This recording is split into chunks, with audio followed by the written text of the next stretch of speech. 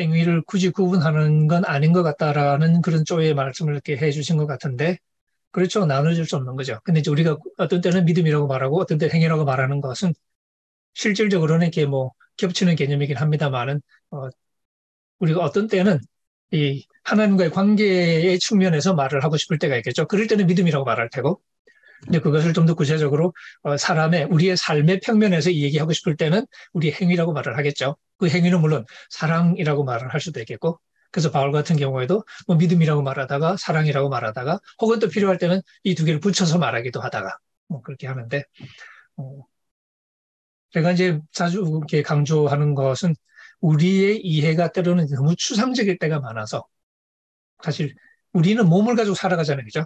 그러니까 우리 인간의 이야기는 믿음 이야기도 결국 우리가 몸을 가지고 살아가는 사람들의 이야기니까 결국 이건 행동일 수밖에 없거든요. 우리 몸이 움직이는 거니까. 근데 종종 우리가 교리적으로 믿음을 얘기하는 걸 가만히 들어보면 마치 우리가 몸은 없이 우리 육체는 없이 그냥 정신으로만 살아가는 존재인 듯한 느낌을 느낄 때가 있어요. 그걸 가장 잘했던 사람 중에 하나가 이제 옛날에 있었던 영지주의자들. 추상적인 지식에 굉장히 많이 의존했던. 그러니까 그 사람들은 육체 자체가 악한 거기 때문에 육체성을 이렇게 부정할 수밖에 없거든요. 근데 우리 육체 속에 우리 영혼이 이제 감옥처럼 갇혀 있는 거지. 그래서 구원이라는 것은 우리 육체를 벗어나는 거예요. 그런 식의 논리를 이렇게 폈는데, 근데 그건 어, 사실 뭐 성경적인 가르침하고는 전혀 맞지 않습니다. 근데 요즘 우리가 이제 이 믿음과 행위 이런 가지고 논, 이런 걸 가지고 논쟁하는 방식을 가만히 보면 우리도 때로는 우리 마치 우리가 정신적인 존재로만 살아갈 수 있는 것처럼 생각하고 있는 게 아닌가 그런 느낌을 느낄 때가 많고 사실 우리의 삶을 우리의 신앙을 제대로 얘기하려면 결국은 우리의 삶을 얘기할, 얘기할 수밖에 없죠.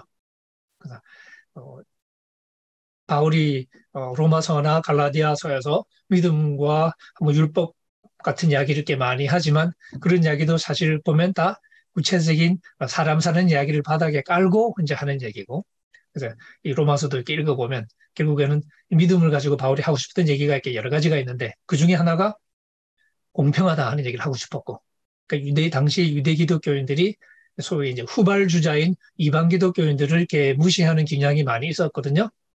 그런 상황에서 이제는 유대인 이방인이 공평하다 하는 얘기를 하고 싶어서 바울이 믿음 얘기를 많이 했고요.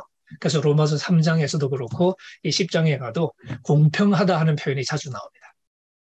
차별이 없느니라 하는 표현이 나오는 거 여러분 아실 텐데 예, 그런 현실적인 이유가 있고요.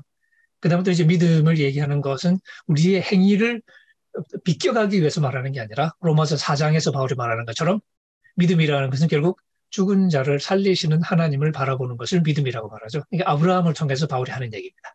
나중에 우리가 어, 5주차, 6주차 될 때 이제 믿음, 인해에 관해서 좀 더 구체적으로 얘기를 이렇게 해볼 텐데요. 그때 우리가 조금 더 자세하게 믿음에 관해서 이제 믿음의 역동성에 대해서 얘기를 좀 할 수 있을 거라고 생각이 듭니다. 그래서 그때 우리가 또 이제 이런 주제를 다시 다룰 수 있을 것 같아서 어, 일단은 뭐 이 정도만 말씀을 드리고 어, 넘어가도록 하겠습니다. 우리가 이제 로마서 갈라디아서만 읽으면 우리가 교리 논쟁만 잘하면 사실 뭐 신앙 문제가 해결될 것처럼 생각할 수도 있지만 실제 그렇지는 않죠.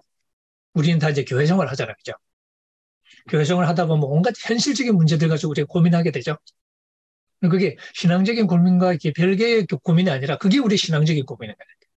그걸 볼 수 있는 경우가 이제 고린도전서 같은 편지들이죠. 고린도전서는 바울이 가장 골치 아파했던 교회, 고린도 교회, 그 교회에 주고받는 편지인데 그 교회와 주고받은 편지 보면 결국 복음을 이해한다는 것은 복음을 가지고 살아가는 우리의 삶을 이해하는 거죠. 우리의 행동을 이해하는 거.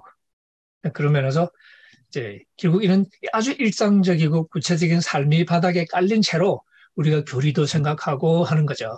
그래서 로마서나 갈라디아서 같은 편지도 있지만 고린도전서 같은 편지도 있고 혹은 빌립보서처럼 우리가 다음 시간에 빌립보서 이야기를 조금 더 구체적으로 해볼 텐데요.